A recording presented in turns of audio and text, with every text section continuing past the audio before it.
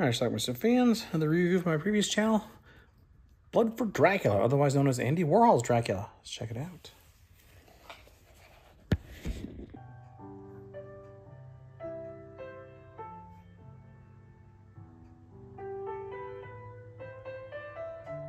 Romania and travel far away, Dracula needs to leave Romania to find some virgin blood. maybe to France. But I think to Italy. You must, you must have the blood of a virgin, or you will be dead in a few weeks. You and your sister are too well known here in Romania. I go with your blessing. So he's going to Italy and leaving his vampire sister Our behind. family will continue. This is Mario. He's in Italy. He's like the uh, groundskeeper at this villa where four daughters live. He bones two of them. I guess this Dracula can be out in the uh, in the sun without burning to a crisp. is matched by their purity, and the Count's family tradition requires that he marries a virgin. That's why we came to Italy. There's no progress. If they do have the virgin around here we need, they're certainly not for us. You think this family around here would leave their daughter out of their sight for one second? Most important thing has happened to us. So these years. two are the parents of those make the daughters. understand how important a marriage like this can be to us. They want one of their kids to marry the Count. Paints the body of an uncle The Count travels with a coffin. home, and who he wanted to take home to his family abode. So don't be surprised when you see it. Yes, she is. Could this be a virgin? We just stopped in for a quick one on our way home from the fields. The center of the Anton got some, has a loaf of bread that he dipped into the was blood of a girl who got hit by a young car, girl. a young kid, I pretended to faint at the sight of her. Fell. which Dracula quickly sucks up.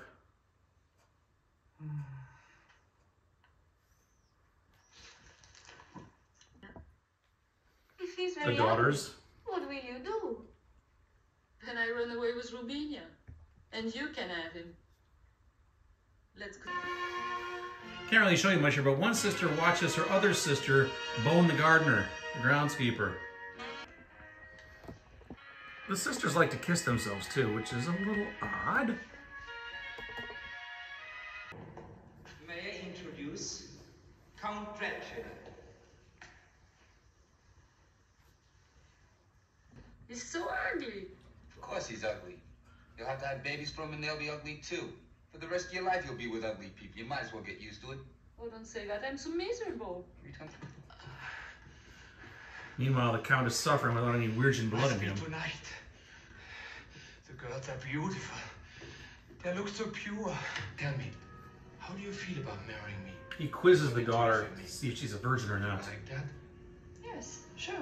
Here's a hint, she's not. My family boys do it little girls. She convinces him that she is a virgin though.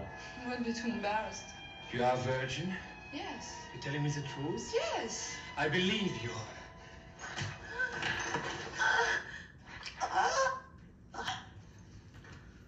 He soon discovers that he's been duped, and non-virgin blood has a bad effect on him.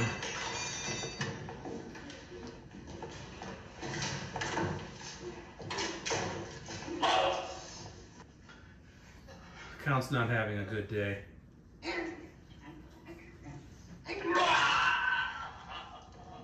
What does he know? He knows I'm not a virgin.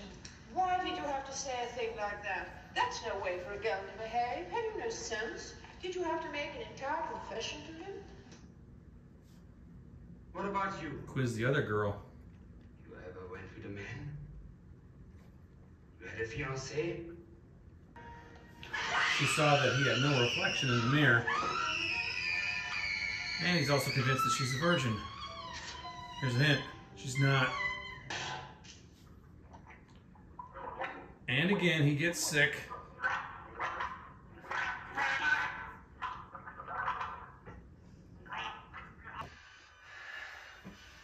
The blood of these whores is killing me. Just want my coffin back. I wish things had worked out better. This is Perla, though, the such a shame 14 year old daughter. Perla has to find out these things so young, and within her own family. They act like they're sick. There's something slimy about that, Count. I don't think he ever wanted to marry any of them. Then he was interested in something. Mario pries open the coffin to see if the Count's relative is in there, his uncle, but no, it's empty, so he's begins to suspect he's a vampire. The two middle daughters who sleep around a lot are going to check Perla to see if she's a virgin. She is. To me. You should have known that before. A creep from Romania looking for virgins. That Count who's gonna do so much for your family's a vampire. No. Mario feels the only way to save Perla is to take her virginity.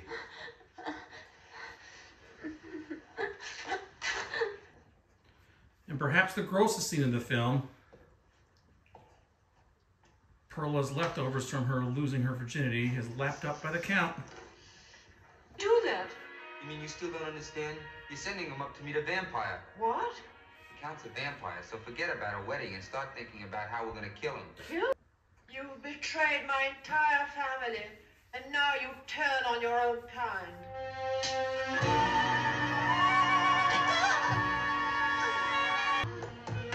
But with her dying breath, she shoots him. Mario grabs an axe and chases the Count through the halls. There goes an arm.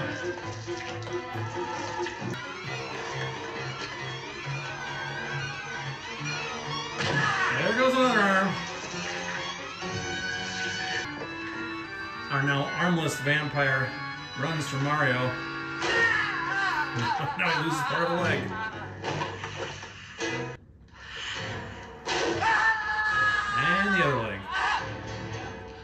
Got a torso left. Esmeralda, who's now under the Count's spell.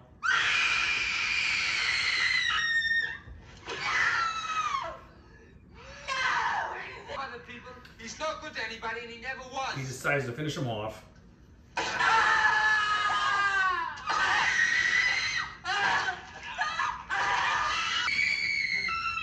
Pain is too much for Esmeralda to handle, so she jumps on top of it too. Which pretty much ends our film. Pearl and Mario apparently live happily ever after.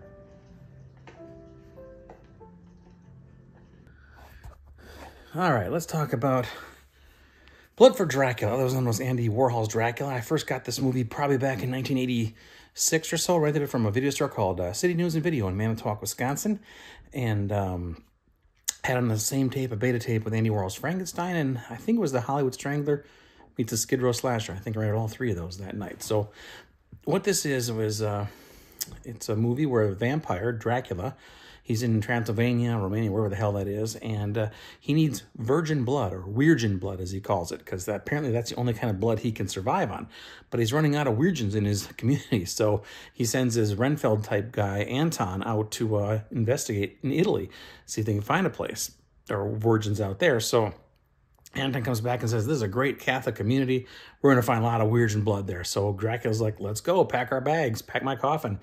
And um, so they head to Italy. They stay at this villa uh, where this uh, guy, it's like a castle almost. He's there with his wife and four daughters who are aged 14 to 23. Now, the 23 year old is apparently homely looking, or and she's not worthy. The 14 year old is too young, but the two middle daughters, perfect virgin blood right there, right? The only problem is they've been boning the gardener, so on a regular basis, the same guy, played by Joe Dallesandro, I believe, and um, but uh, the count comes there, and the the patriarch of the family thinks it'd be great if one of the girls could marry the count because it could help, you know, stay wealthy the rest of their lives. So the count um, basically talks to the ladies, and uh, you know, he makes it clear that um, if he's going to marry somebody, it has to be a virgin, a virgin. So uh, the first girl says, "Oh yes, I am," and he doesn't believe her. So he's like quizzing her. You've never had somebody touch you, this or that, and um, you know, uh, and she's like, "Oh no, no, no, you'll have to teach me things." Blah blah blah. Well, eventually says, "I believe you." Then he bites her in the neck immediately, and then. Uh, as soon as he's done, he starts coughing and hacking and he pukes up all the blood because she was not a virgin. So he does the same routine later with one of the other daughters. Um, he gets them both under their spell, but again, he starts puking it up because he can't live on their blood.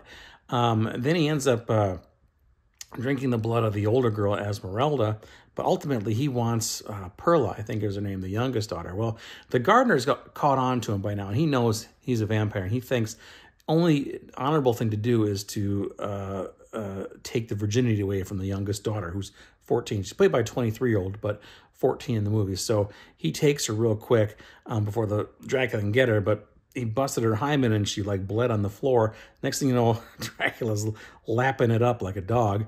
Um, then the mother of the family uh, uh, comes after Dracula and or comes after Anton actually.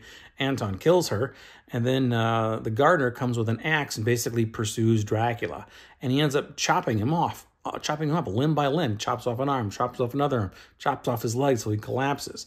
Ultimately, he puts a stake through Dracula's heart, and then Esmeralda, who's full vamp mode by now, jumps on the stake as well, and uh, that's pretty much how our movie ends. Um, I guess we're kind of led to believe that uh, this gardener's going to take over the estate. I don't know. Dad is still on vacation somewhere. He was off paying bills somewhere, doing some business. So he's still in charge as far as I'm concerned. But whatever. That's how our movie ended. So anyway, I, I did enjoy this movie. I think I may have been a little bit disappointed when I saw this film, you know, 35 years ago. Um, but it's grown on me well. It's, it's almost a little tongue in cheek our vampire doesn't even seem all that threatening, to be honest with you. He's very calm, laid back, and even keeled. Um, some decent gore sequences in it. Mostly it's just the puking stuff, though. A lot of nudity thrown in as well. Some full frontal stuff there. Just um, just a fun little film. It ticks all the boxes for an exploitation film, so you can't go wrong with that. Now, I have this uh, Blu-ray here, which I think came from Australia. Or and I don't know who put this out.